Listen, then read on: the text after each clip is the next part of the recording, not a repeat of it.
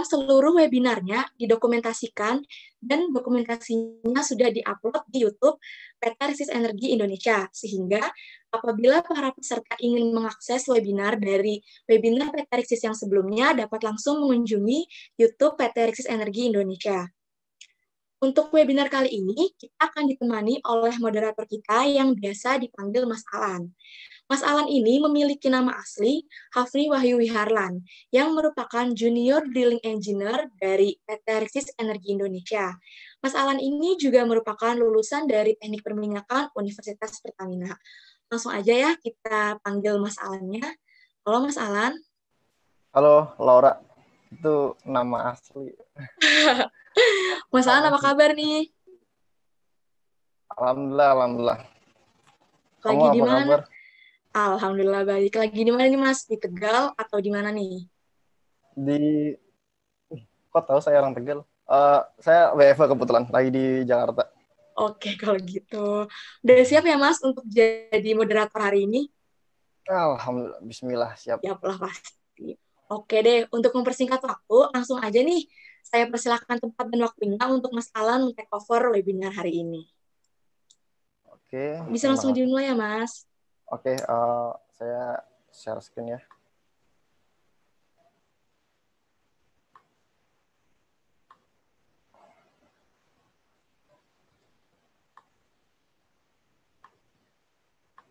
Oke. Hmm. Oke, uh, selamat siang semua. Uh, selamat datang di webinar Rixis uh, webinar kali ini kita akan membahas mengenai how to select best tubular for drilling project. Oke, okay, uh, pembicara webinar kita kali ini uh, Mas Muhammad Fahmi Sungkar.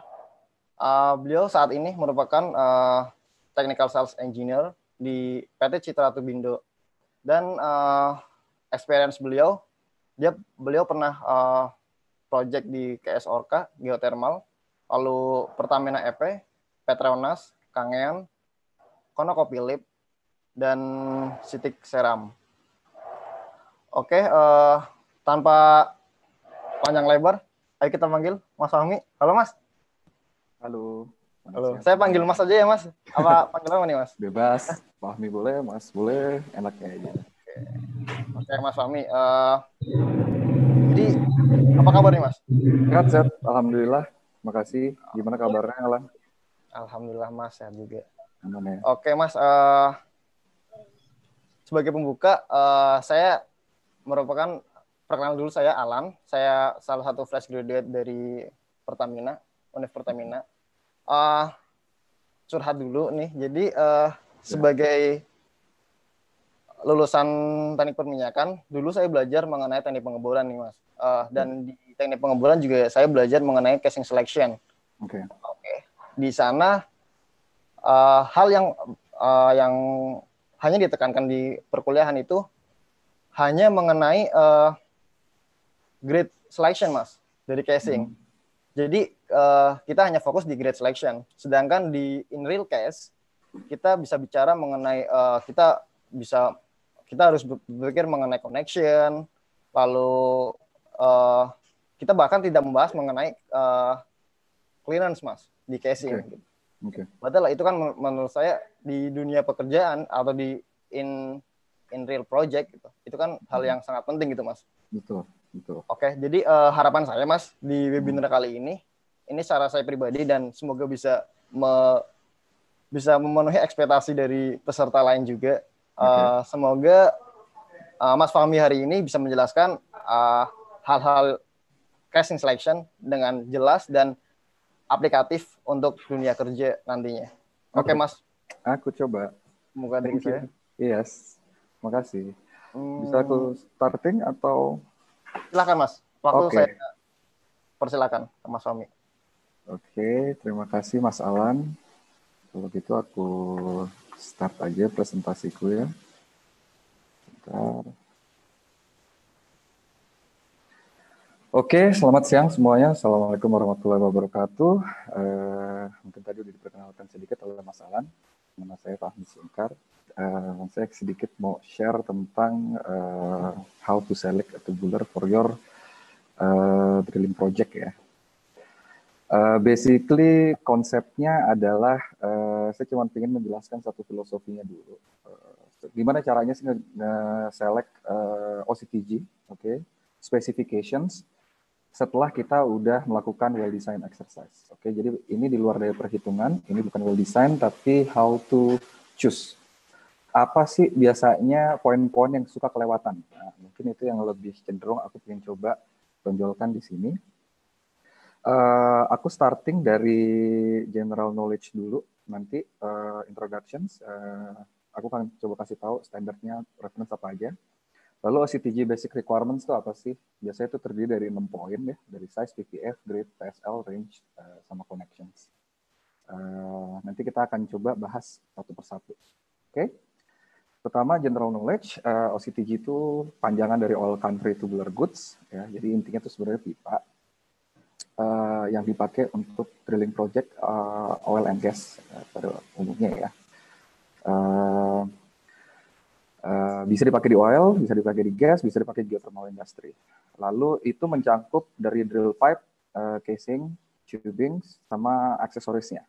Manufactured normally berdasarkan API ISO atau Related Standard Specifications yang kadang-kadang manufacturers punya standard specification sendiri. Uh, dan selalu di-qualified berdasarkan well loads, operation loads, sama well conditions. Itu tiga hal yang paling penting. Oke, okay. introduction lagi drill pipe itu apa sih sebenarnya? Mostly itu heavy duty heavy duty uh, seamless pipe ya yang dipakai buat merotate speed. Uh, lalu sorry uh, apa namanya? Uh, untuk mensirkulate drilling fluids dan juga di join satu sama lain menggunakan connection yang disebut toll joint. Kalau casing itu lebih untuk um, stabilitas wellbore, biasanya ukurannya sekitar 4,5 sampai 20 inch yang dipakai. Lalu kalau tubing itu biasanya untuk mentransfer hydrocarbon, mengambil uh, oil atau gas dari reservoir, ya, yang dipakai biasanya size-nya kecil, 23 per 8 sampai 4,5 inci rata-rata. Lalu ada aksesoris juga yang mendukung uh, atau complementary sebagai equipment seperti pipe joint, ya, ukurannya seperti pipa tapi lebih pendek. Crossover biasanya untuk menyambung dua belah pipa yang beda connections atau beda size. Lalu ada blast joint, itu seperti coupling ya, uh, tapi lebih panjang. Ada pin to pin, ya. Uh, lalu ada coupling sendiri. Dari manufacturing proses dibagi tiga sebenarnya. Itu ada seamless, ada IRW, sama SAW. Kalau seamless itu pipa yang enggak pakai welding, uh, dibuatnya. Dia itu memanaskan besi pejal, lalu uh, dilakukanlah proses yang namanya piercing atau filtering ya untuk mendapatkan form uh, suatu pipa. Kalau IRW itu electric resistant welding, uh, dia dari plat uh, lalu di weld tapi menggunakan uh, elektrik sehingga bentuknya hampir nggak kelihatan atau bisa dibilang mirip kayak uh, seamless ya. Yang ketiga itu SAW, dia uh, submerged arc welding. Ya, dia itu las menggunakan submerged, uh, dia menggunakan arc welding, cuman di dalam sebuah flux. Ya. Biasanya rata-rata kalau SAW itu udah kelihatan ada uh, simnya ya, atau weldingnya kelihatan. Seamless normally dipakai buat uh, casing and tubing yang ukurannya misalnya dari production casing, uh, tubing, liner ya, membutuhkan rigid tertentu. IRW normally biasanya dipakai di surface surface casing, SAW biasanya dipakai di conductor casing. Ya. Oke, ini standar reference biasa yang dipakai di dunia OSCTG. Uh, eh, kalau drill pipe biasa pakai API 5DP, lalu ada spec 7 yang mengatur tentang connectionnya drill pipe. Uh, casing tubing dan aksesoris standarnya pakai API 5L. API 5L itu yang tadi mengatur juga ada SAW atau IRW, kadang-kadang pakai API 5L. Mungkin kalau udah tahu grade yang kepalanya X, itu udah pasti ngacunya ke 5L. Lalu EPI 5 City, uh, ini yang nanti akan kita bahas lebih dalam.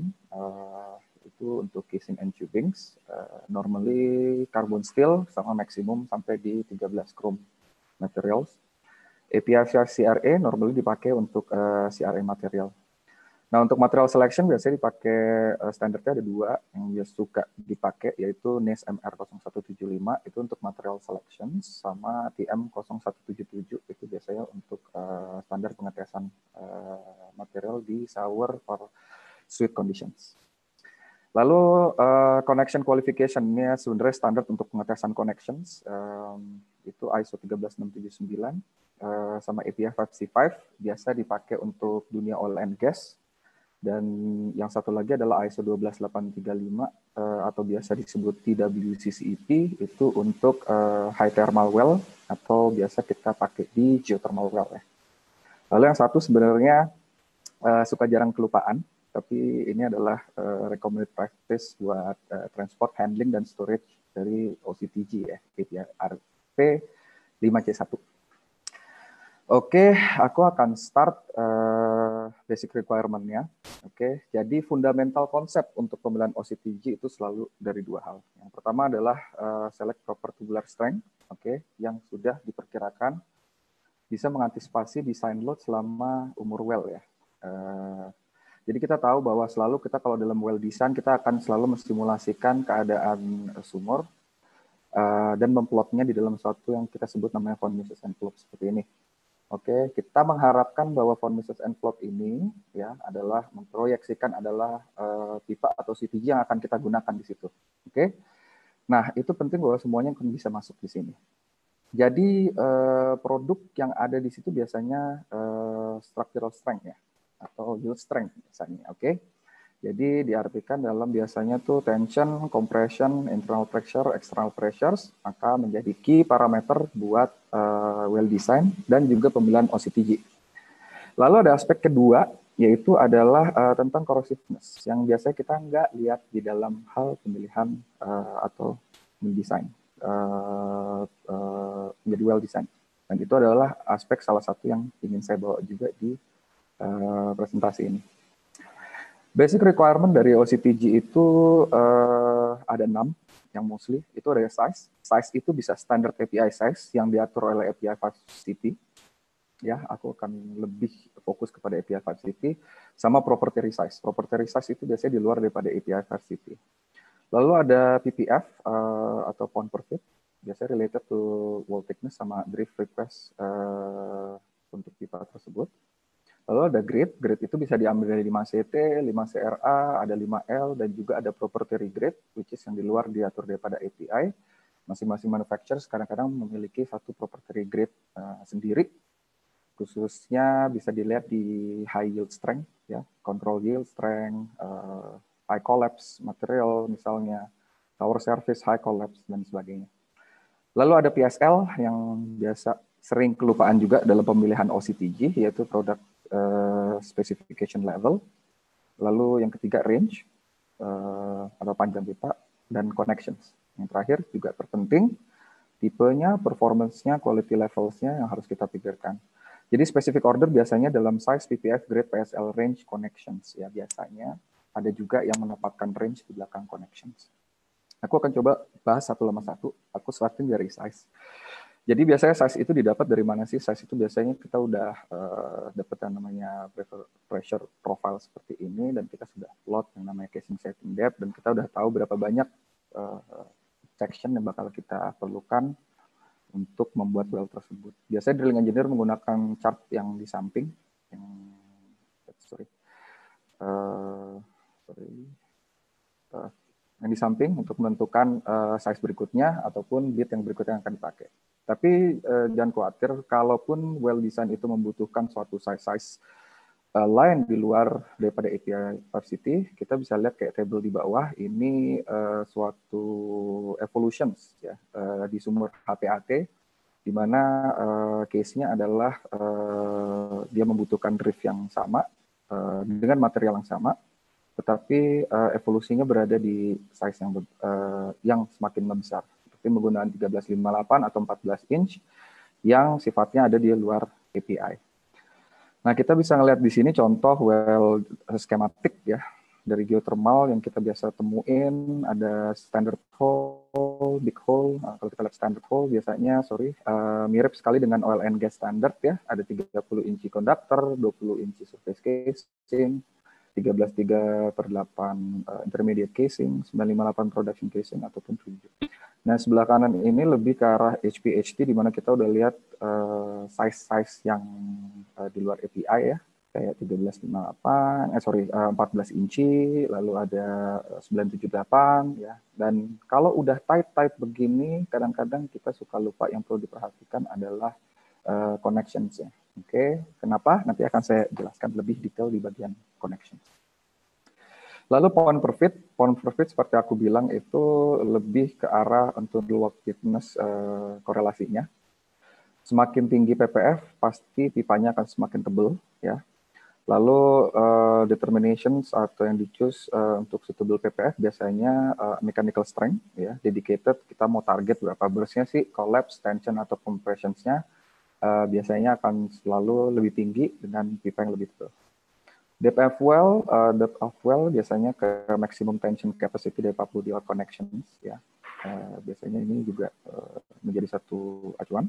Lalu nominal ID seperti aku bilang clearance uh, yang kita uh, butuhkan untuk section berikutnya ataupun uh, ukuran bit berikutnya yang bakal kita uh, pakai. Ya. Flow rate khususnya di tubing biasanya untuk uh, apa menentukan flow rate yang diinginkan dari uh, tubing tersebut ya. Uh, PPF juga nggak uh, selalu harus berada di uh, API Facility Standard. Kadang juga ada beberapa uh, oil and gas manufacturers, uh, eh, sorry, uh, OCTG manufacturers yang uh, memiliki PPF masing-masing. Uh, Oke. Okay. Uh, pipe drift uh, penting sekali juga. Uh, jadi aku cuma mau jelasin ada tiga uh, drift di sini. Ada API drift yang diatur di API FFCT, lalu ada alternate drift uh, yaitu misalnya uh, 958 53.5 itu punya alternate drift uh, 8.5, jadi ukurannya bisa lebih besar. Uh, dan itu pun diatur juga API Lima City. Uh, dan ada satu lagi adalah special drift special drift itu biasanya manufacturers uh, punya satu drift value sendiri untuk beberapa uh, size uh, OCTG yang uh, mereka sediakan ya. Itu bisa selalu dikomunikasikan dengan uh, manufacturers uh, untuk mendapatkan informasi itu atau bisa melihat dari API 5 City Standard. Oke. Okay. Uh, grade, grade ini sebenarnya hal yang sangat atau menentukan material ya. Ini hal yang sangat interesting. Uh, sebenarnya pembahasannya bisa panjang, tapi aku coba buat ngejelasin simple. Jadi pemilihan grade ini harus uh, istilahnya harus memperhatikan dua hal yaitu uh, well environmentnya sendiri dan operating condition. Main objektifnya adalah bahwa uh, material tersebut harus bisa resisten terhadap corrosions dan mechanical stress selama uh, umur sumur ya. Berdasarkan material eh, berdasarkan mechanical strength atau kekuatan materialnya eh, itu akan selalu kita lihat eh, axial kekuatan axial, tension compressionnya, lalu internal pressure dan external pressure capability-nya. Dan yang kedua biasanya me mechanical strength eh, di rating itu untuk khususnya untuk sumur-sumur yang memiliki eh, temperatur yang tinggi ya. Lalu untuk well conditions eh, ini penting sekali yaitu H2S konten, CO2 konten, uh, chloride konten, sulfur konten, pH level, temperatur, uh, bottom hole temperatur, juga wellhead temperatur, dan pressures, uh, bottom hole pressures, dan juga uh, flow pressures. Uh, dari beberapa elemen di atas, uh, kita bisa temukan bahwa yang paling uh, uh, menjadi cost uh, atau sebab corrosion yang paling utama itu adalah uh, kandungan dari CO2 atau H2S. Oke, okay? menjelaskan sedikit tentang apa itu H2S corrosion ya. H2S corrosion itu disebabkan oleh uh, sour gas, uh, hydrogen sulfide atau H2S yang membuat material menjadi brittle uh, under stress. Nah, uh, fenomena korosi ini disebut juga SSG dan dia biasanya posisinya ada di mana? Ada di suhu-suhu rendah di casing desain kalian. Uh, yang perlu diperhatikan itu adalah di tubing khususnya pasti, uh, lalu ada di production casings. Ini uh, kita kalau misalnya selalu memproyeksikan ada yang namanya tubing leak ya ketika well design. Tetapi nggak menutup kemungkinan bahwa material selection ini juga dilakukan di uh, liner. Oke. Okay. Yang kedua adalah CO2 corrosions. Uh, kalau digabung dengan H2S dengan high temperature, dia punya uh, satu corrosion lagi yang namanya SCC atau stress corrosion cracking. Dan CO2 ini semakin tinggi temperaturnya semakin severe. Dan biasanya CO2 corrosion ini di uh, bisa dihindarin dengan penggunaan material yang menggunakan kadar kromium 12% ke atas. Mengapa? Karena dibutuhkan yang namanya passive layer untuk menahan uh, atau efek dari CO2 ke material. Yang perlu kita perhatikan untuk CO2 uh, corrosion ini itu ada di bagian uh, tubing ya, yang selalu flow weighted terhadap reservoir, uh, liner lalu production casings yang posisinya ada di bawah uh, uh, uh, ya. Nah ini yang perlu kita perhatikan. Oke, okay. Uh, berikut adalah sebenarnya simplified dari material selections. Gimana sih apa gimana uh, flow-nya biasanya. Jadi setelah kita melakukan basic design, kita mengetahui apakah uh, section itu akan terekspos pada uh, production fluid Lalu akan kita lihat selalu mengakses terhadap CO2-nya lebih dahulu, lalu uh, eh, H2S. Oke. Okay? Dan CO2 ini lebih severe lagi kalau ada kandungan chloride yang tinggi. Sementara H2S, H2S ini kita harus memperhatikan juga pH level, karena itu akan membuat severitas dari corrosion H2S ini akan jauh lebih tinggi. Di bawah situ maka kita akan bisa tentukan mana yang kira-kira kita mesti pakai. Apakah itu carbon steel, apakah itu sour surface carbon steel, bisa 13 krom, martensitic, ataupun CRA. Uh, sebelah kanan ini adalah sebenarnya uh, chart dari uh, material selections yang aku ambil dari NES MR0175 ya. Dipakai berdasarkan uh, dua parameter yaitu H2S dan CO2. Dan juga parameter yang ketiga yaitu temperatur ya. Jadi kita bisa melihat limitasi-limitasinya, uh, kapan kita mesti menggunakan material uh, yang kita sudah uh, pelajari uh, well conditionnya masing-masing. Uh, Oke. Okay. Nah, yang berikutnya adalah PSL. PSL adalah hal yang sangat sering dilewatkan ketika pemilihan uh, OCTG. Jadi PSL ini adalah tingkat uh, product specification level atau sebenarnya uh, manufacturing inspection requirement level yang diharapkan ketika uh, memesan pipa tersebut. Aku suka memproyeksikan atau menganalogikan PSL ini kayak kalau kita pesan beli mobil Innova gitu ya, ada pilihan tiga pilihan, ada Innova G, ada Innova V, ada Venturer gitu ya. Kita bisa bedain mana uh, quality ya dari satu merek yang sama tapi dengan tiga tingkatan beda ya itulah PSL ya, oke okay? Jadi PSL 1 biasanya sering dipakai di surface casing intermediate casing ya uh, manufacturing-nya standar berdasarkan IPA 5CT yang kita lihat bahwa oh oke okay, itu masih vertical section kita akan nggak ketemu satu uh, acid gas misalnya uh, kita nggak perlu terlalu memiliki atau membutuhkan high level of inspections. Lalu PSL yang kedua itu uh, lebih tinggi, ya, lebih tinggi dengan biasanya mungkin ada proses NDNDT, sorry, yang lebih stringent atau uh, wall thickness coverage area-nya yang 25% dibanding PSL 1 yang 10%. Dan uh, ini biasa dipakai di intermediate casing, production casing, liner atau tubing sections ya. Atau kadang juga untuk application kayak deviated section, kita butuh uh, casing rotation, gitu kita udah minimum kita membutuhkan PSL 2. Lalu ada lagi yang paling tinggi PSL 3 ya, itu udah yang tertinggi level of inspections ya. Biasanya dipakai di production casing, liner, tubing section untuk application-nya HT-HT wells dan thermal wells ya untuk PSL level ini. Oke. Okay. Uh, berikutnya range, uh, range ini standar sebenarnya. Uh, ini kita ambil dari API 5CT 10 editions ya, dibagi dari tiga range, range 1, range 2, range 3, dan masing-masing dedicate, dedicate apakah itu, sorry, penggunaannya untuk casings, apakah itu untuk tubing, lalu ada juga kadang-kadang ukuran casing tapi dilakukan uh, atau dibutuhkan uh, untuk tubing. Oke, okay. uh, eh, tubing normally menggunakan range 2 dan casing biasanya menggunakan range 3. Walaupun ada juga request untuk uh, memiliki uh, tubing dengan range 3, tapi nanti akan dibalik kembalikan ke uh, capacity dari rig-nya masing-masing.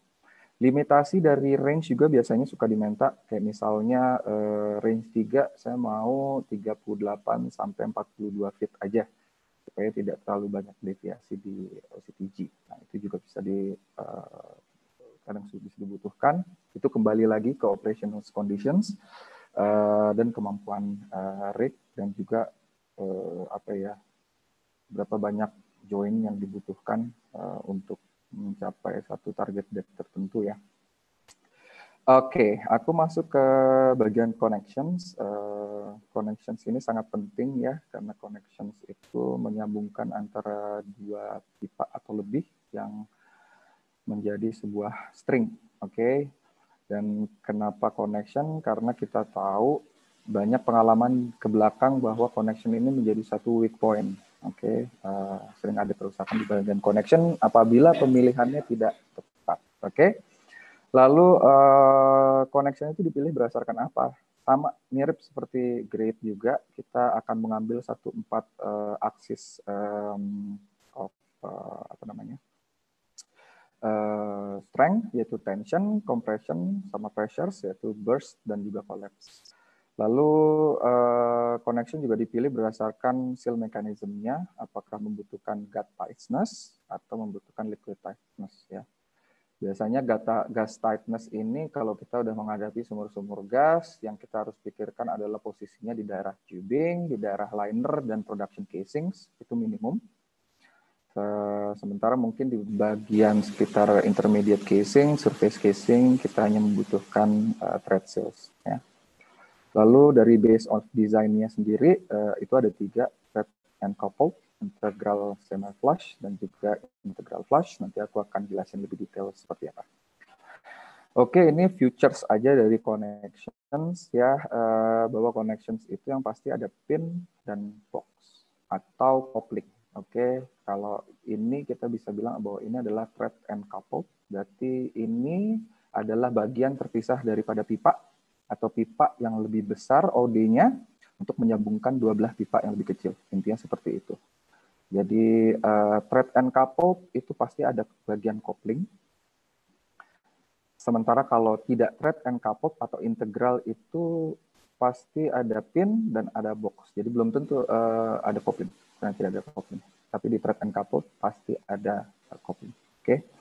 Uh, yang penting adalah kadang-kadang kita suka perhatikan juga dengan thread profiles-nya, lalu di sini adalah bagian metal to metal seals-nya dan shoulders. Shoulders ini adalah yang menstop ketika kita memake up uh, pin ke dalam box, ya, dan juga uh, untuk uh, desain seperti ini, ini juga sebagai tempat di mana load compression berada di luar daripada uh, stabbing flank dari uh, si trap.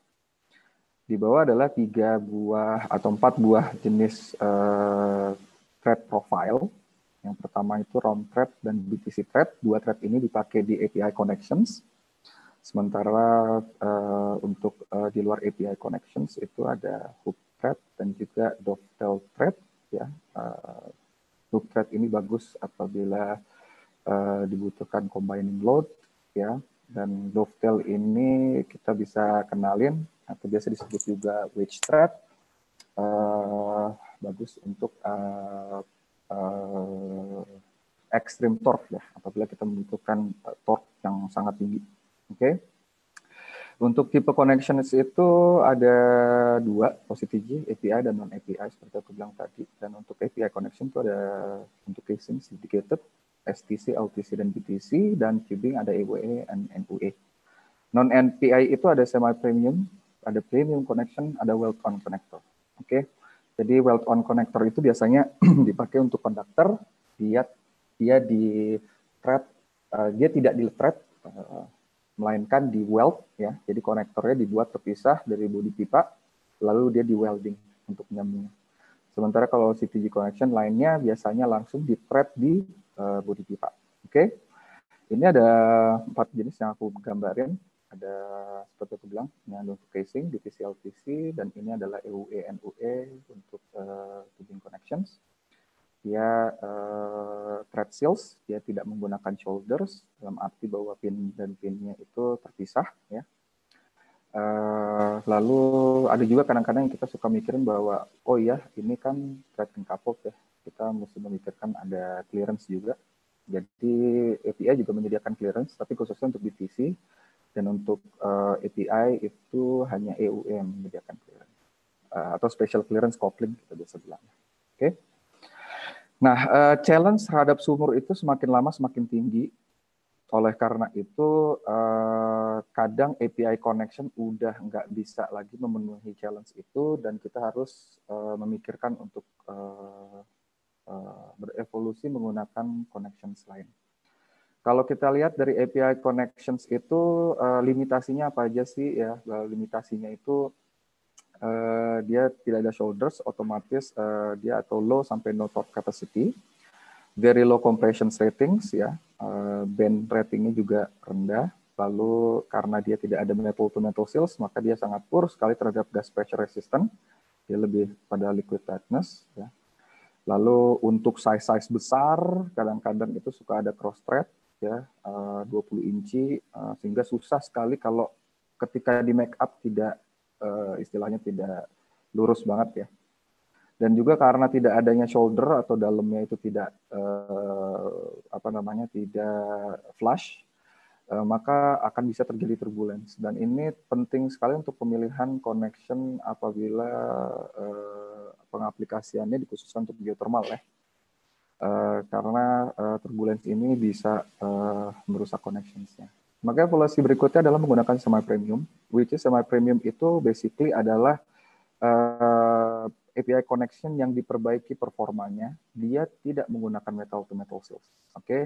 Jadi apa yang di, di, diperbaikin itu biasanya di structuralnya. Dengan adanya flies ID, dengan desain yang biasanya dengan pin to shoulders, ya, uh, atau pin to pin yang kadang-kadang ditemukan juga uh, menyebabkan flash ID, dia memiliki uh, better axial resistance, khususnya compressions. Dan dia juga memiliki better torque resistance. Oke. Okay.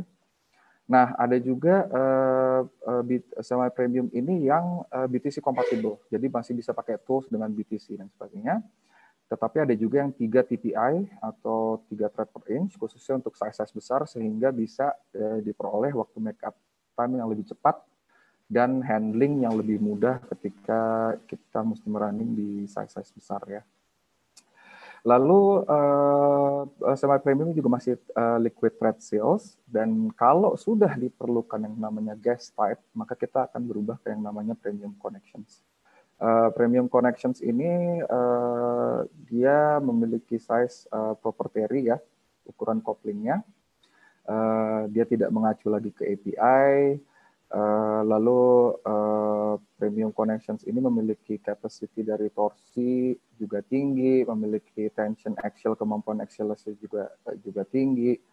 Lalu dia yang paling penting itu di qualifications berdasarkan ISO atau API protocol. Oke. Okay? Nah, premium connections ini pun dibagi tiga.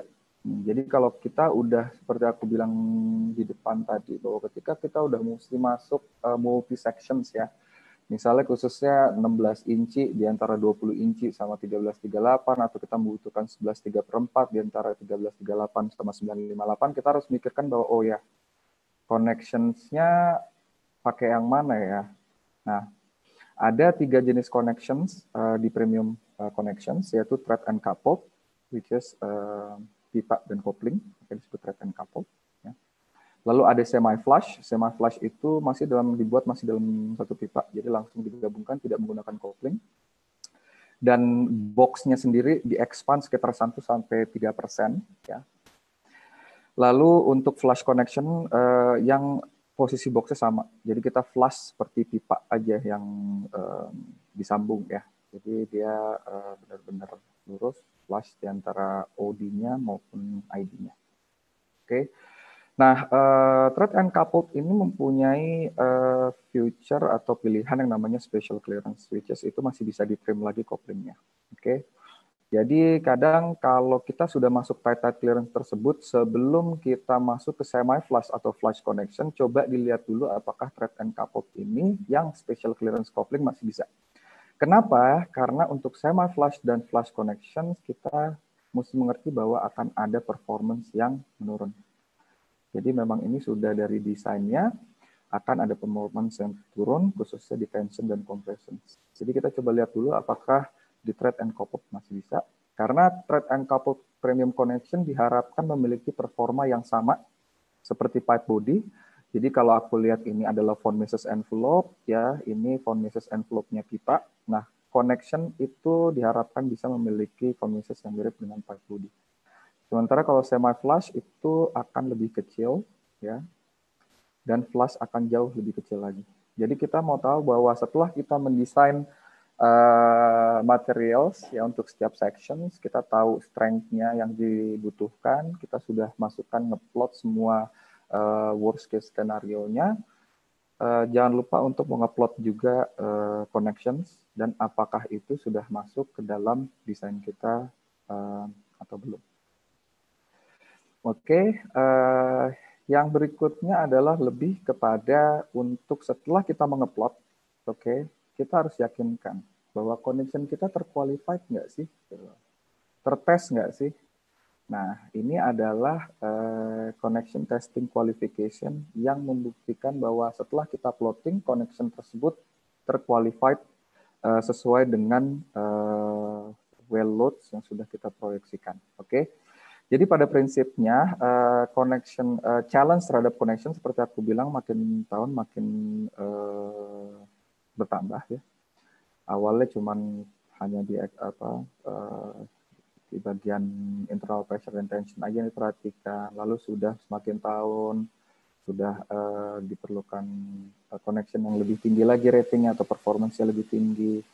Uh, yang tadinya lalu tahun 90-an akan lebih tinggi lagi, lalu dibutuhkan juga high collapse materials. Ya, high collapse material itu uh, proprietary material di luar daripada API collapse uh, pressures calculations kurang lebih sekitar 30% di atas uh, collapse pressures uh, untuk high collapse dan itu pun masih terqualified connection tersebut. Lalu semakin tahun juga karena challenge semakin tinggi, HPHT, uh, sumur juga makin uh, uh, susah desainnya, RD dan sebagainya, maka dibutuhkan juga pengqualification yang lebih tinggi. Oke. Okay? Nah, dokumen reference-nya itu saat ini yang dipakai adalah API 5C5 eh, 2017 Sport Editions. Oke. Okay. Uh, lalu ada juga ISO 13679 2019 dan ini uh, dua dipakai di oil and gas saat ini, oke. Okay. Walaupun kadang masih ada yang menggunakan uh, 2002 untuk uh, oil and gas. Uh, dan yang terakhir adalah seperti aku bilang itu CCEP itu untuk geothermal. Oke, okay. sebenarnya kontennya apa sih yang ada di dalam dokumen ini atau protokol ini? Adalah sebenarnya ada untuk uh, pengetesan dia adalah uh, dia memiliki guidelines untuk membuat spesimen ya, machining preparation untuk uh, membuat spesimen ya. Ini jadi ilustrasi sedikit tentang gimana pengetesannya, mesinnya sih seperti apa sih. Lalu ada guideline untuk make and break sama reliability testing. Jadi ini akan nanti diproyeksikan uh, terhadap semua aksis ini ya uh, sorry uh, ada internal pressure external pressures uh, uh, tension compression dan combining load khususnya juga ada bending dan ada thermal cycle khususnya untuk yang tidak beli. Nah, kalau kita biasa suka ingat pasti ada yang namanya K level. Ya, level itu ada kala 1, 2, 3, 4 ya untuk ISO 13679 yaitu menentukan level uh, applications atau challenge dari yang si connection itu harus bisa uh, lolos. Nah, kalau misalnya si uh, ISO 12835 itu lebih menggunakan ASL atau Application Severity Levels yang lebih ditentukan ke maksimum temperatur uh, si uh, uh, connection itu dalam menghadapinya ya. Biasanya di production casing khususnya diperlukan uh, premium connections yang terqualified ini di geothermal dan ASL itu bisa dari 240 degree C sampai dengan 350 degree Celsius. Okay. So summary-nya dari presentasi saya sebenarnya hanya ingin memberikan pesan bahwa uh, untuk memilih satu OCTG yang baik harus di start dengan uh, menentukan load uh, atau mensimulasikan load uh, selama umur well kalian, hmm, termasuk dengan safety faktornya. Lalu jangan lupa untuk memilih material yang uh, suitable dengan environment conditions. Oke. Okay? Jadi uh, kalau kita tahu kita mau pakai 80 KSI, jangan kita harus lihat dulu kita punya kandungan H2S atau enggak misalnya. Jangan langsung ke N80, kita mesti bisa lihat L80 uh, eh, sebagai sour service grade sebagai contohnya. Lalu kita tahu H2S dan CO2 itu combining dengan temperatur adalah main trigger dari corrosion uh, di dalam sumur kalian. Jadi ingat-ingat selalu bahwa material selection itu menentukan uh, sekali integrity, well integrity dari uh, sumur kalian. Dan yang ketiga, uh, memilih connection itu harus uh, inline, ya, harus align dengan aplikasi yang kalian perlukan. Oke, okay, itu gas uh, type atau sorry gas uh, producing atau oil atau liquid lalu expected performance ya performance dari tension compression internal pressure external pressures ya dan jangan lupa bahwa connection itu kita harus memikirkan tidak hanya structural tetapi juga sealability dalam arti kalau sealability harus tertes dengan uh, qualification level yang barusan saya sebutkan tentang ISO dan API. Lalu appropriate uh, appropriate uh, connection size ya jangan lupa kalau kita memerlukan tight tight clearance, jangan lupa kita harus memilih dengan uh, integral connection ke arah situ.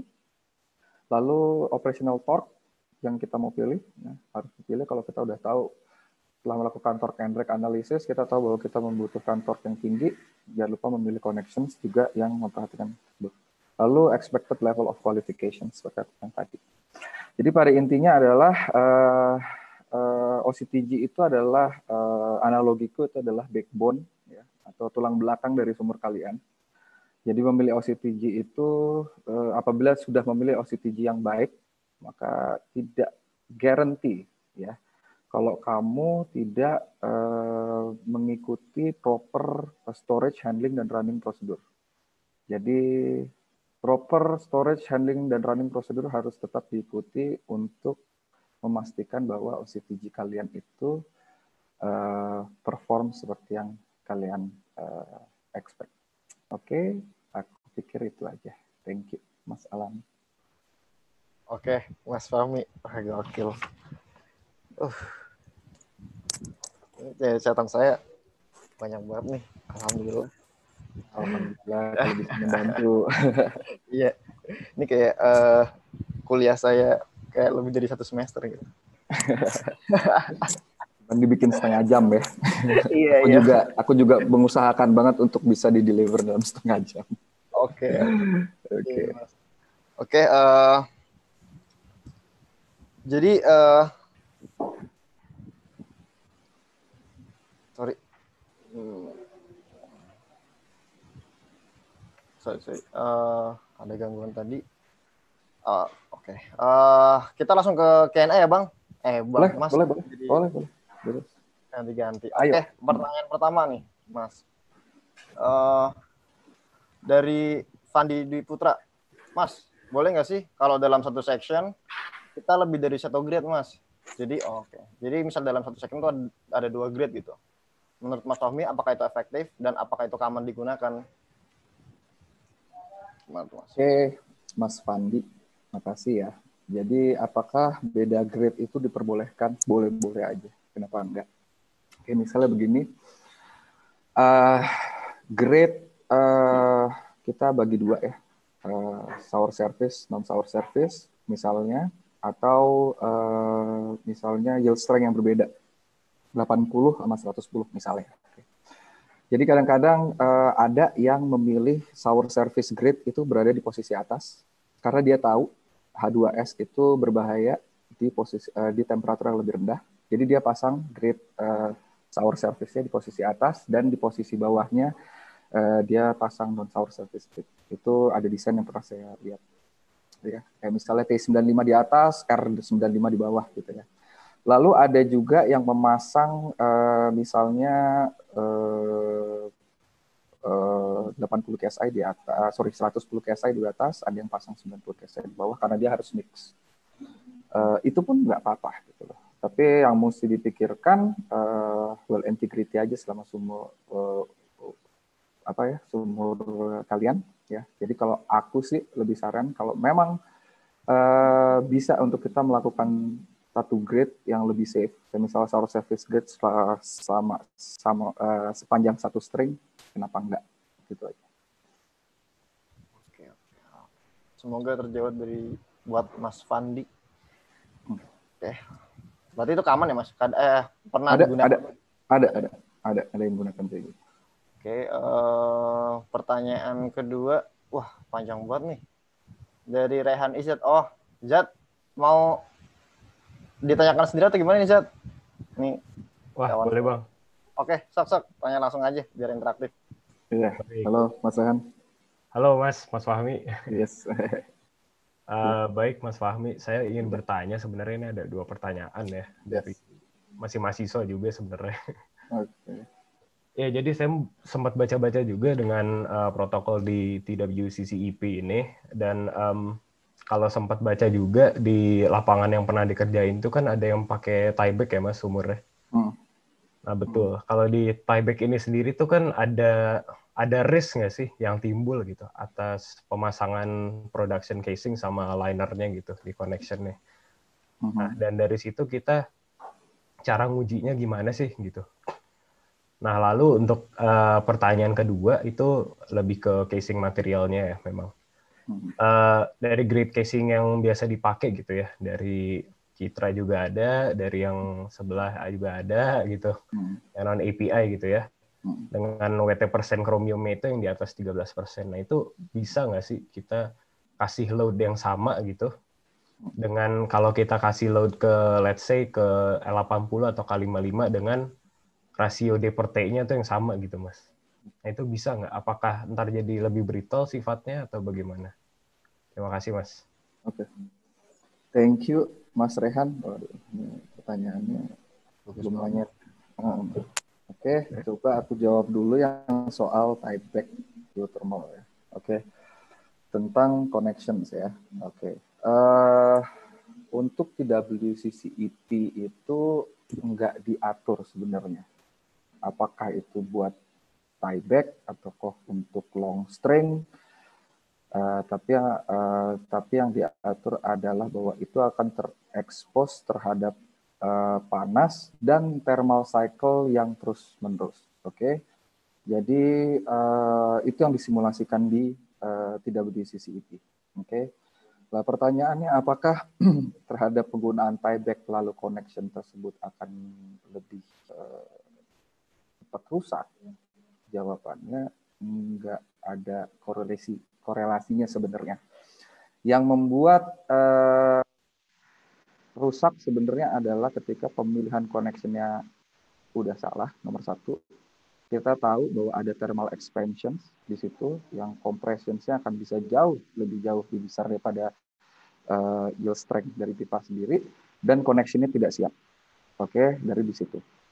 Yang kedua adalah kalau kita ngomongin collapse nah ini sering banget terjadi di sumur-sumur geothermal dan aku sering dengar bahwa areanya itu sering berada di tieback Nah, kadang-kadang uh, kita lihat lagi, sering banget terjadi karena uh, uh, cementing proses yang enggak uh, perfect. Masih ada water trap di situ yang pada akhirnya bisa merusak bodi pipa. Dan itu pun tidak langsung impact uh, ke connection. Kadang bisa juga di bodi pipa gitu loh. Jadi ini dua hal yang berbeda. Jadi persiapkan connection yang memang dikhususkan untuk uh, thermal well untuk siap terhadap loadnya yang sudah tertes terhadap ISO 12835 ya sesuai dengan suhunya.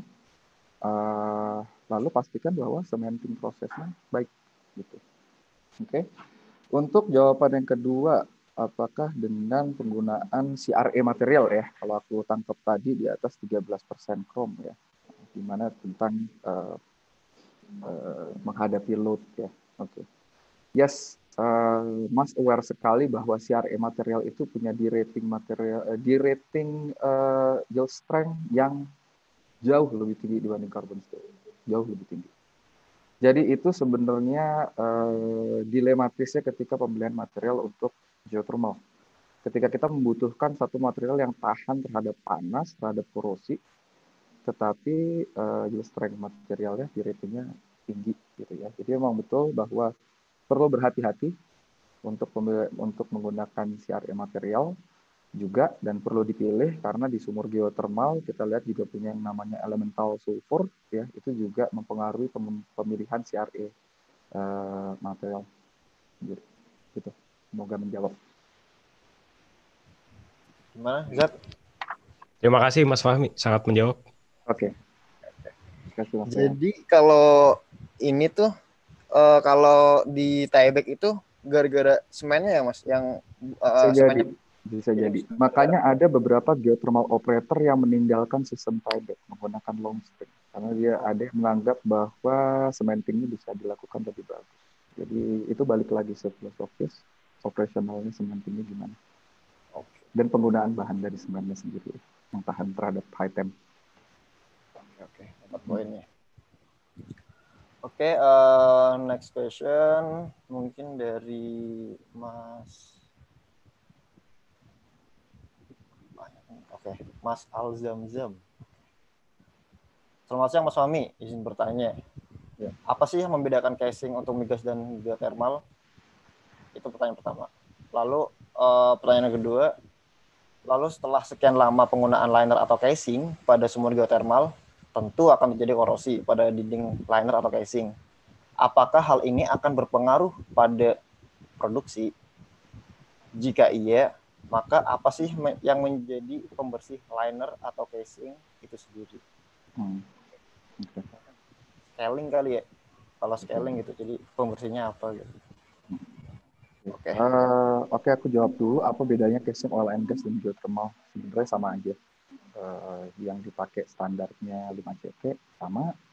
Terus uh, apa namanya? Cuman mungkin Eh, kadang-kadang gridnya pun sama gitu ya mungkin kadang-kadang materialnya itu berbeda jadi kalau dibilang khusus nggak ada nah yang lalu dari segi connections juga kadang-kadang yang dipakai misalnya premium connections yang dipakai di oil and gas sama seperti apa geothermal cuma seperti aku bilang tadi testing qualification untuk uh, connectionnya sendiri yang beda oke okay, ada satu tadi API 5C5 sama ISO 13679 buat oil and gas 12835 eh, buat geothermal.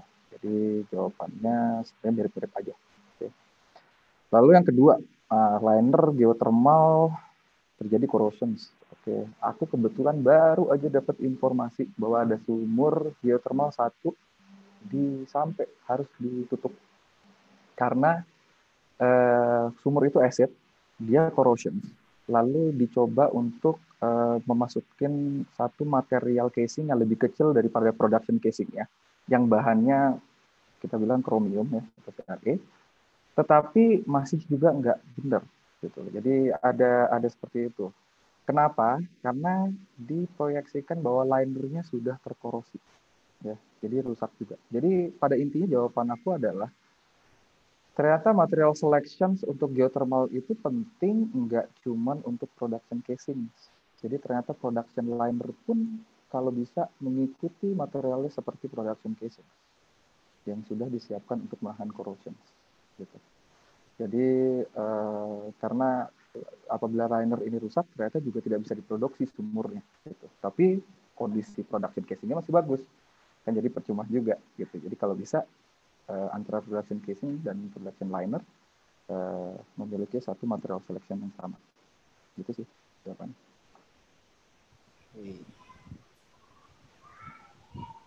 Pertanyaan ketiga, Mas. Ini apa sih yang digunakan untuk membersihkan liner atau casing sehingga produksi bisa lancar? Mungkin kalau scaling kali ya. Mungkin. Okay. Scaling tergantung, ada yang pakai chemical, ada yang pakai mechanical, tergantung.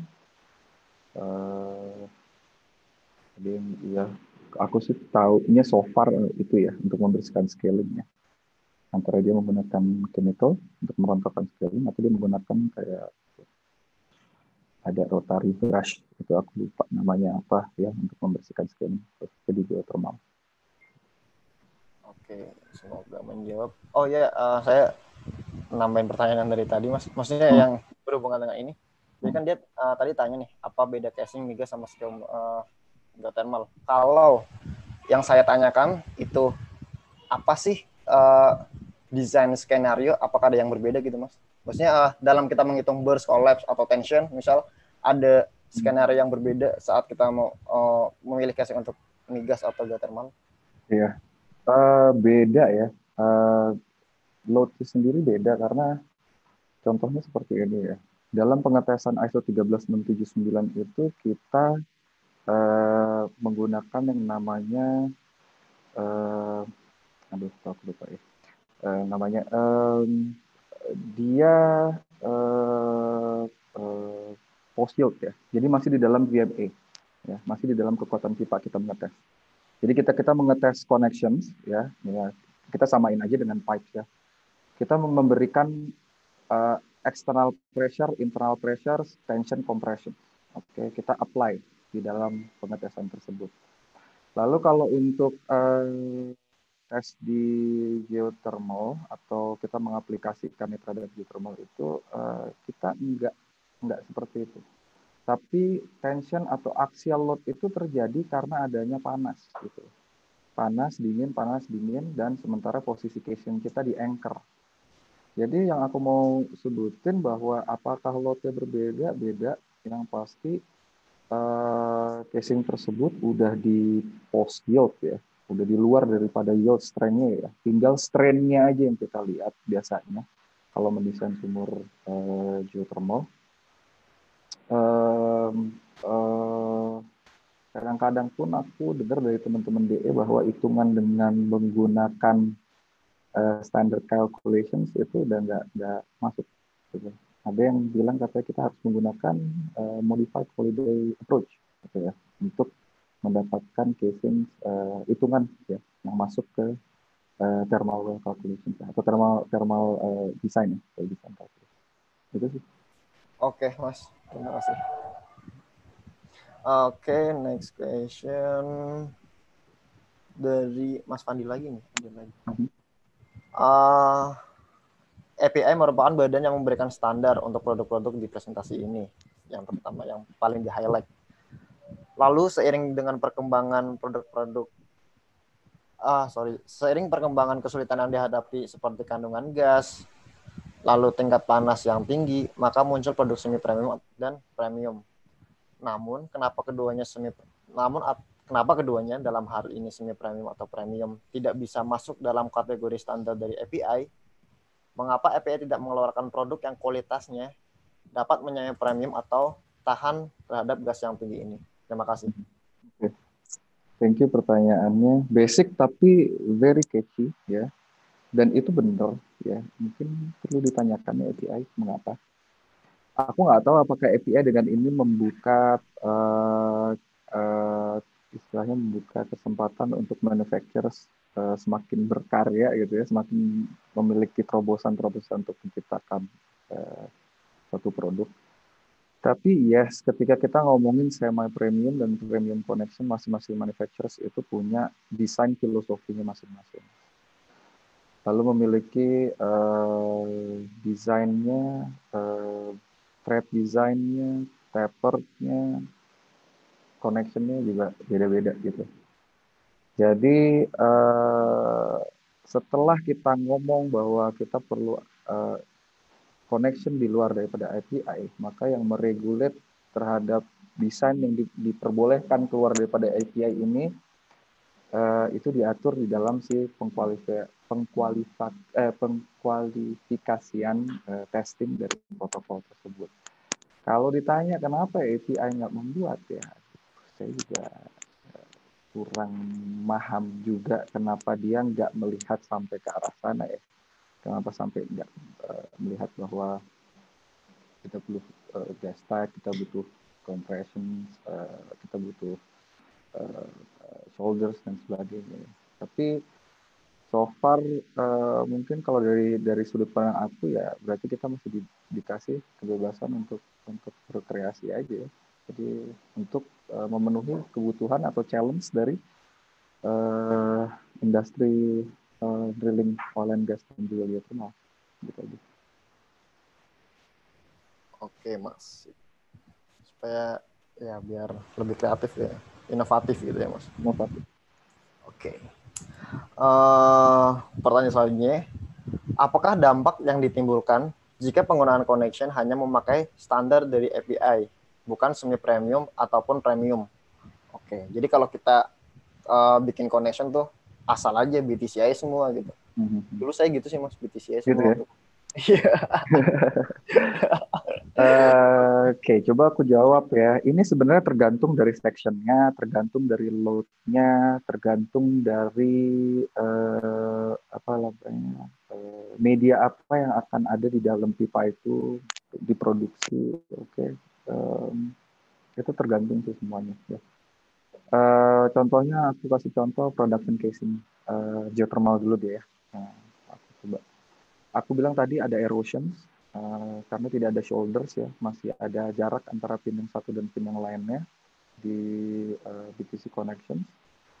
Uh, itu bisa terjadi erosion, lalu uh, karena ada uh, thermal indus, uh, tension dan juga compressions, maka begitu ada compression yang tinggi, connectionnya bisa jump in karena nggak ada stoppernya atau nggak ada shoulder.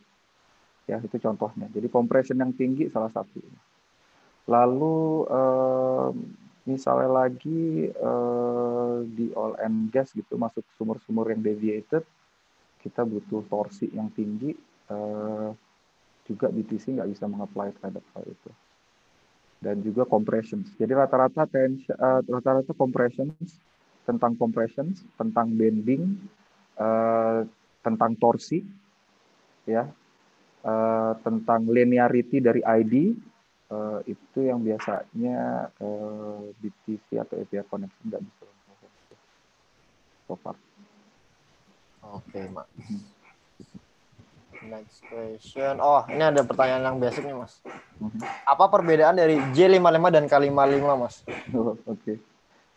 Uh, J55 K55 itu sebenarnya biasanya kalau J55 buat tubing, uh, K55 itu buat uh, casing ya, dari segi aplikasi standar.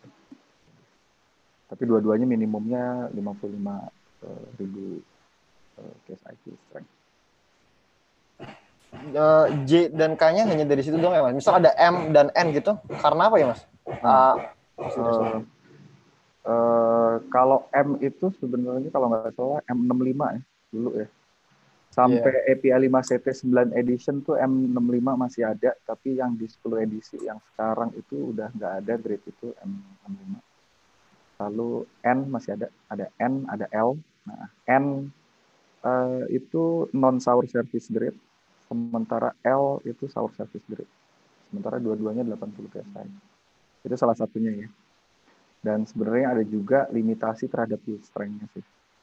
Minimumnya eh, eh, di 80.000 untuk L, maksimumnya 95.000, tapi kalau N dia bisa lebih tinggi daripada itu. Jadi N di depannya itu kadang-kadang juga eh, bukan kadang-kadang ya, tapi menentukan apakah grid ini uh, sour service atau enggak. Kita bisa lihat end suffix ya. Tapi dari sejarahnya API nggak pernah dijelaskan secara spesifik kenapa dia pakai J, L, M, N, P, P atau Q. itu belum pernah aku temuin sampai sekarang. Alasannya kenapa pakai suffix-suffix itu. Iya. Oke mas. Uh, next question. Uh, Oke, okay. dari pengalaman nih mas, biasanya hmm. efek memuai casing itu berapa ya mas per 1000 meter gitu kalau kita high temperature misal 225 celcius uh, efek memuainya casing ya oke okay. ya, hmm. oke okay, tergantung ya aku pikir uh, aku sih nggak ada aku sih eh, nggak uh, hafal angkanya ya uh, thermal coefficient expansion buat material di kepala. Cuman aku cuman kasih contoh aja kayak misalnya aku pernah lihat um, wellhead yang bisa naik sampai satu meter, satu setengah meter ya di sumur geothermal. Jadi menurut aku kalau expansionnya cukup tinggi kalau udah ada di sumur-sumur geothermal ya. Jadi tapi so far aku nggak ada. Aku mesti lihat data lagi sih. Kalau misalnya ditanya dari masing-masing material, kira-kira expansionnya berapa berapa besar ya? Belahnya sampai naik gitu ya mas? Bisa naik gitu ya di sumur geothermal. Keren juga. Bisa sampai ke angkat gitu. Bisa sampai ke angkat gitu. Itu karena thermal expansion. Oke, oke.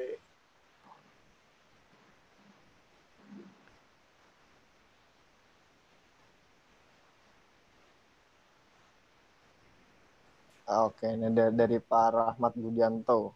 Hmm. Cintanya apa Fami? Oke. Okay. Kalau kadang terlalu asam, rekomendasi untuk casing untuk geothermal apa ya? Apa tetap mengacu ISO 12835?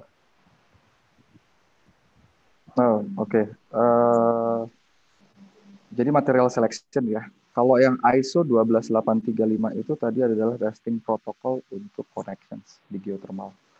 Tapi kalau untuk pemilihan material itu pakai uh, NES MR 0175. Nah, uh, pertanyaannya adalah sumber acid. Oke, okay. di high temp. Oke, okay. nah uh, kalau udah ngomongin acid, kita uh, well conditions yang perlu diambil uh, lagi datanya ya, seperti H2S, CO2, standard, chloride, pH, standard, itu kita perlu tahu untuk bisa menentukan. Lalu jangan lupa ada elemental sulfur.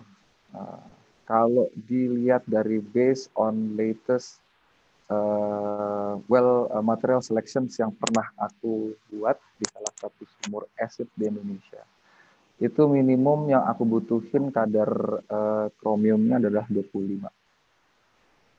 Jadi 25 krom itu yang aku butuhkan dan ada kandungan waktu itu uh, molybdenum yang juga cukup besar. Eh, sorry nikel bukan molybdenum. Jadi uh, kita hampir bilang materialnya itu nickel base karena kadar nikelnya lebih tinggi daripada kadar uh, kromium tapi waktu itu aku melakukan material selection itu di atas 25 krom ya Oke, Mas.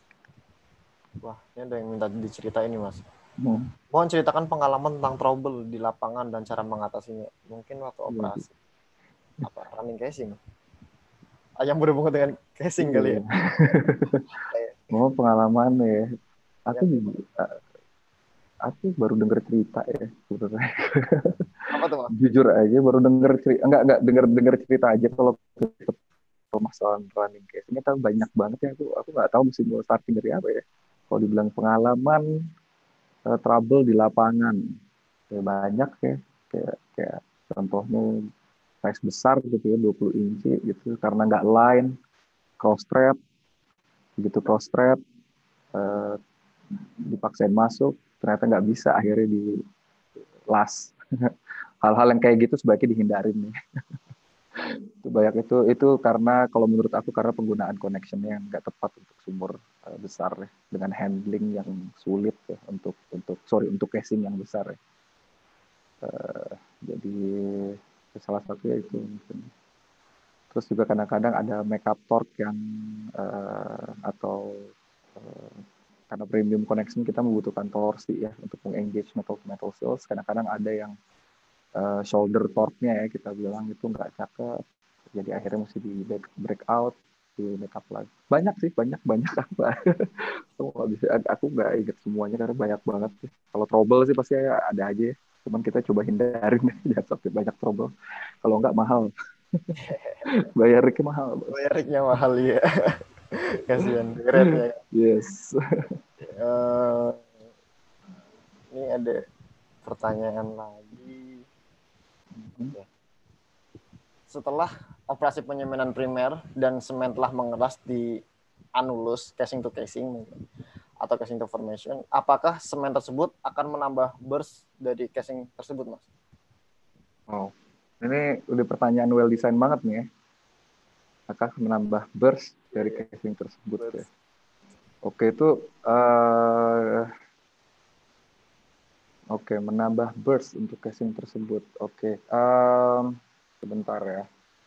Uh, aku pikir itu kembali lagi ke uh, tekanan hidrostatik dari lumpur nggak sih? ya enggak uh, kalau sudah kering dari luar lalu akan ada internal pressure lagi kembali. Aku pikir ya itu akan jadi burst ya. uh, tapi pasti akan disesuaikan lagi dengan kemampuan casing. Menurut aku segitu walaupun sudah intact ya. Karena pemilihan casing itu dipilih uh, ketika worst skenario banget apakah itu full burst atau full evacuation uh, ya kadang-kadang kita pakai istilah yang namanya full evacuation full burst atau full collapse. Jadi so far itu masuk ke dalam uh, parameter itu dalam pemilihan casing itu gitu. Gitu. Oke, ini pertanyaannya udah mau ke well design semua nih mas kayaknya. Oke, okay, ini ada pertanyaan lucu nih. Hmm. Kenapa slotted liner bentuknya bola memanjang? Kenapa tidak bulat? Atau segitiga? Apa ada pertimbangan engineeringnya? Karena kalau bolong namanya pre-drilled liner atau perforation liner. Perforated liner. Biasanya sebegitu. Beda jenis gitu ya. Kalau bolong ya perforated ya. Iya. kalau panjang slotted. oh, iya ya masa ya mau segitiga yo iya.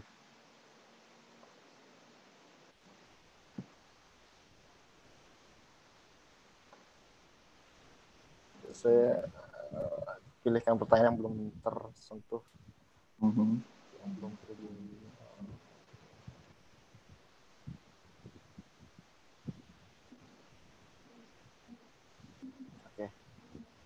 uh, dalam beberapa buku drilling ini kayak anak kuliahan yang tanya. Uh, pressure internal untuk menghitung collapse pada casing itu berbeda-beda mas. Jadi kalau kita ngitung collapse pressure beda-beda.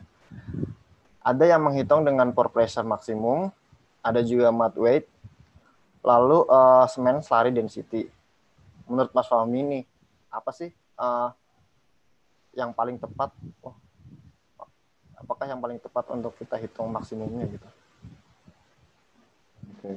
Uh, selari tadi apa? Satu lagi. Maksimum collapse ya. Maksimum yeah. collapse. Maksimum uh, load kalau kita ngitung collapse. Okay. Itu kan ada kadang tuh uh, kayak collapse kan berarti dari luar. Okay. Ada per pressure, ada tekanan density mat, lalu ada juga kalau kita sementeng ada densitas dari semen, slurry density. Mm-hmm. Itu uh, mana sih yang paling maksimum gitu? Mana sih yang uh, kondisi mana yang collapse-nya tuh akan lebih akan paling besar gitu? Kalau aku sih uh, formation sih. Hmm. Lalu aku pikirkan untuk uh, apa namanya? Uh, formation pressure terbesar gitu karena uh, casing-casing yang uh, kita butuhin uh,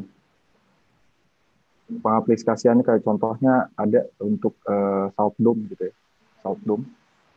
Itu formation uh, pressure-nya gede banget. Karena kita masuk ke area salt uh, pemilihan collapse pun udah di luar daripada standar uh, hitungan API collapse device.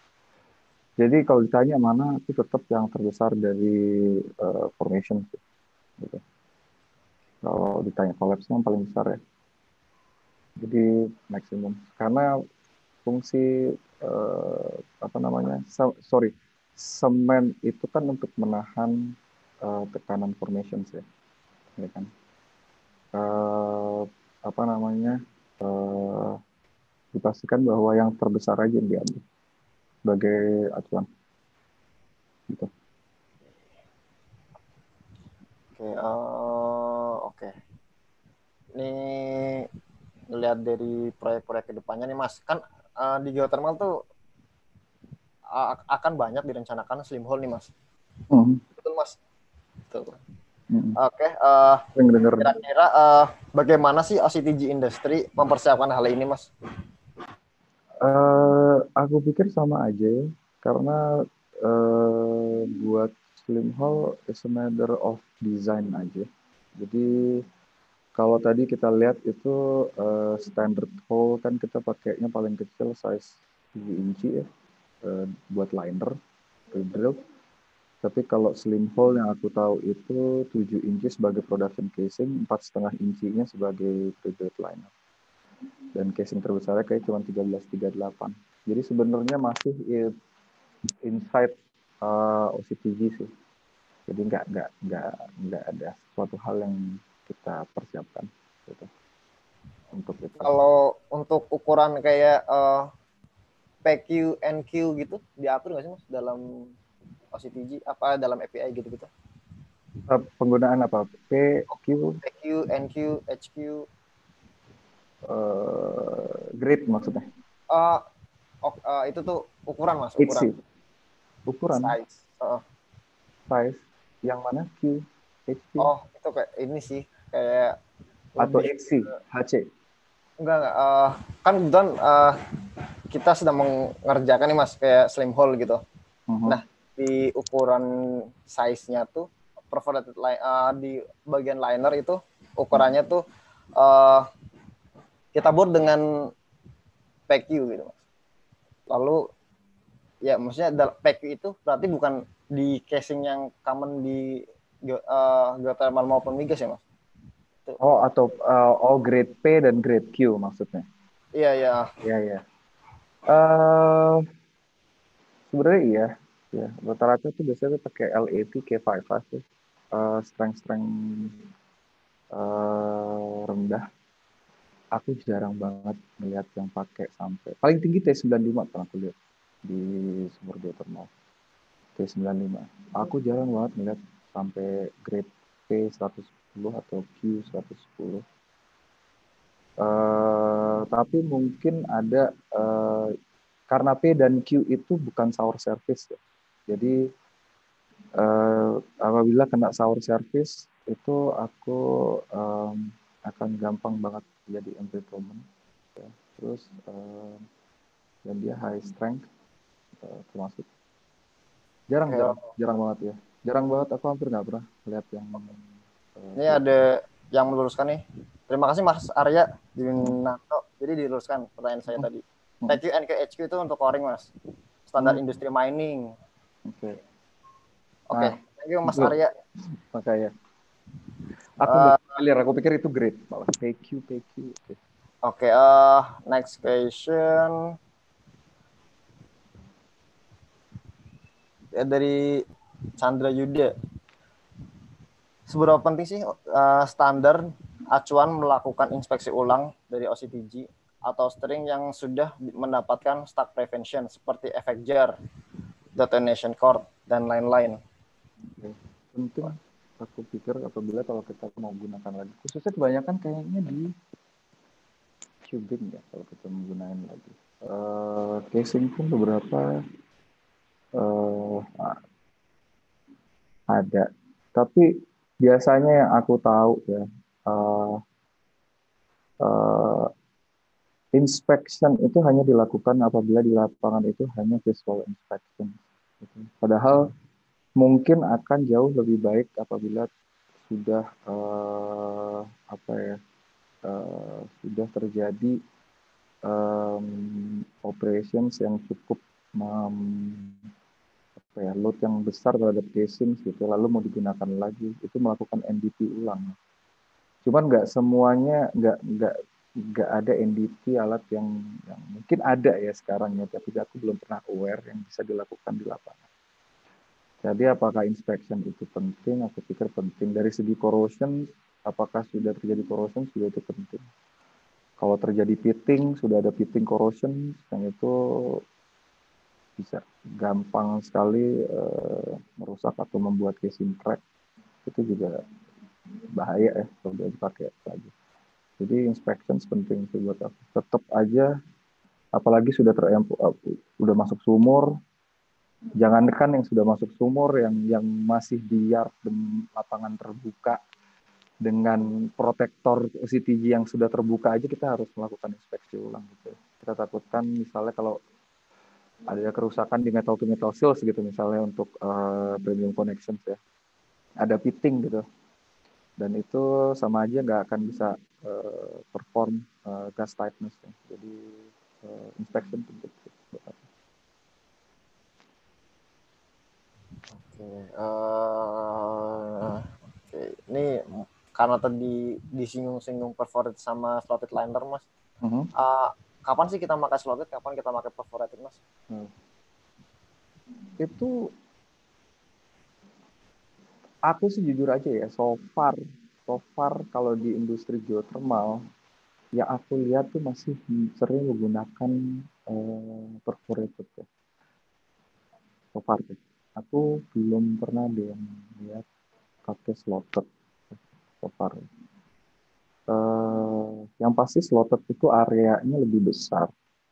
Uh, opening areanya um, ya kembali lagi ke aplikasi ya, kembali ke kebutuhan ya.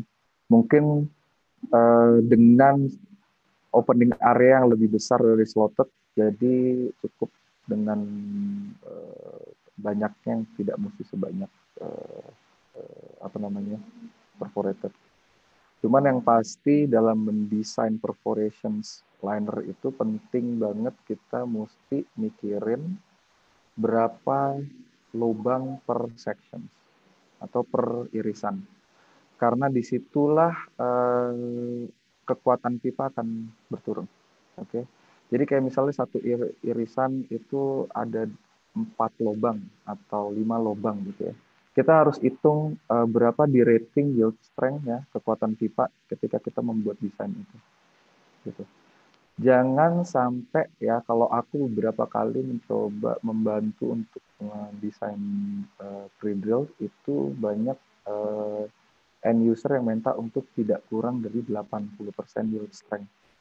Jadi kekurangan uh, apa penurunan dari uh, kekuatan pipa. Kalau bisa jangan lebih kurang dari 80%. Itu aja sih. Tapi kalau soal aplikasi why aku rasa back to the end user sih yang pasti slot kadang area, opening areanya lebih besar Mas uh, nice question nih dari Mas Arya uh, kalau manufaktur green pipe lebih baik dari Cina atau dari Jepang ya Mas? Uh, bagaimana melakukan uh, terpastinya quality, quality controlnya oke okay, thank you Mas Arya. Uh, dari Cina atau dari Jepang ya? Waduh kalau negara aku susah ya mas ya menentukan mana bagus mana jelek ya. Kalau aku lebih mementingkan quality aja sih ya. Siapa yang bisa mendeliver quality yang paling bagus sesuai dengan uh, eh, API uh, eh, specifications atau si end user specifications intinya kayak gitu ya. Uh, kita kita balik lagi aja sih. Aku bilang balik back to the book aja ya. Dan yang pasti kalau emang kita nggak punya uh, tim khusus yang untuk uh, melakukan inspection uh, for sure kita masih bisa uh, menyewa third party inspektor untuk datang ke mill dan melakukan inspeksi di mana pun berada ya masih ya. jadi aku nggak bisa bilang mana China lebih bagus apakah Jepang lebih apa US atau Jerman kita balikin aja ya, bisa tetap inline terhadap uh, standard atau enggak gitu, oke okay. Oke mas. Uh, kalau semua udah berproduksi tuh kita ada nggak sih mas uh, treatment gitu terhadap casing? Hmm, ada ya aku pikir. Kadang-kadang ada yang masukkan corrosion inhibitor tergantung ya. Kadang-kadang ada yang bersihin scaling seperti yang tadi di sumber geothermal ya. E, bisa aja gitu. Jadi kayak geothermal belum tentu dia corrosion tapi dia ada banyak scaling karena menurunkan produksi. E, lalu digunakan inhibitor gitu, sebagai maintenance. Ada. Jadi banyak sih. Kalau casing banyak yang bisa dilakukan. Ini tergantung kasusnya. Ini mas. Kalau terhadap kasus casing connection casing connection dalam hal ini uh, kalau kita mungkin koneksinya korosi kali ya. Mm-hmm. Kalau gitu treatment kita apa gitu mas? Kalau koneksi ini udah di connect, udah di connect atau belum di connect? Udah, udah terkonek, udah terkonek. Udah terkonek, berarti kita udah nggak bisa lihat lagi connection. Udah susah. uh, yang pasti kita nggak bakal bisa maintenance juga kalau udah terkonek. Tapi kalau belum di connect, kita biasanya memberikan yang namanya storage dope. Ya, storage dope uh, itu kita aplikasikan setiap 3 sampai 6 bulan sekali itu supaya untuk tidak corrosion. Dan ditutup selalu dengan protektor. Ya. Sebelum running uh, selama kita uh, selama delivery, selama di storage itu selalu pakai storage book. Baru begitu mau kita running, baru itu dicuci, diinspect, baru kita ganti running book. Dan yang pasti tipenya beda ya, storage sama running book ya. Dan juga kalau menggunakan running dope jangan pakai drill pipe running dope ya. So kadang-kadang di lapangan tuh mencampur antara drill pipe running dope sama casing running dope. Karena eh, bisa rusak intinya performanya bisa uh, menurun oke hmm. Oke mas uh, pertanyaan udah habis dan juga waktunya juga udah habis nih mas mungkin okay. uh, eh, buat teman-teman semua nih uh, just in case uh, pertanyaan terlewat karena ini lumayan banyak dari tadi mungkin bisa langsung ditanyakan aja ya mas ke gimana mas LinkedIn aku ada LinkedIn ada okay. uh langsung connect aja ke LinkedIn Mas Fahmi. LinkedIn. Oke, okay. uh, eh, gitu aja teman-teman. Untuk masalah sertifikat nanti akan di emailkan uh, ke alamat email masing-masing sesuai pendaftaran. Jadi harap uh, kalau nanti teman-teman ngisi nama di uh, untuk pengisian uh, sertifikat harap yang benar ya. Karena uh, based on kasus-kasus webinar-webinar yang lalu kadang ada tuh nama-nama yang uh, disingkat-singkat dan uh, kadang salah gitu. Oke, okay, uh, sampai sini aja mas uh, obrolan kita hari ini. Uh, ada kata-kata sebelum kita tutup webinar ini mas? Satu patah dua kata mas? Ya, makasih. Makasih semuanya udah uh, datang dan mendengarkan webinar ini. Oke. Okay. Thank you Mas Fahmi sekali lagi. Makasih Mas Alan. Ya. Rixis, uh, dan untuk teman-teman semua yang udah hadir pada sore ini uh, sampai jam setengah lima ini, uh, saya kembalikan lagi ke Laura sebagai MC. Halo, Laura. Ya, halo Mas Alan, terima kasih. Oke. Okay. Ya, saya ucapkan uh, tiba saatnya di penghujung acara webinar hari ini. Saya ucapkan terima kasih kepada para peserta webinar dan juga Mas Fahmi sebagai pembicara hari ini. Diingatkan kembali bagi para peserta webinar, diharapkan mengisi feedback form yang nantinya akan dikirimkan via WhatsApp yang akan digunakan untuk mengklaim e-sertifikatnya. Untuk webinar selanjutnya, eh, akan ada kolaborasi antara NRK dan PT Resis Energi Indonesia pada hari Sabtu 21 November 2020 pukul 19.30. Dari saya, kurang lebihnya mohon maaf. Wassalamualaikum warahmatullahi wabarakatuh. Waalaikumsalam. Warahmatullahi wabarakatuh. Terima kasih semua.